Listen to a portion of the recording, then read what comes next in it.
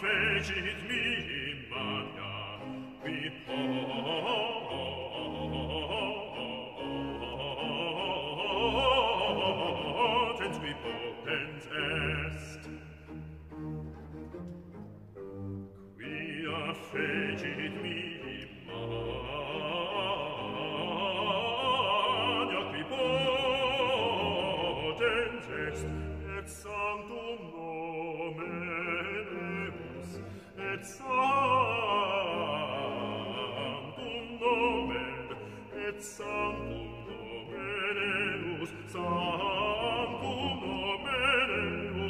Sancto Dominus et Sancto Dominus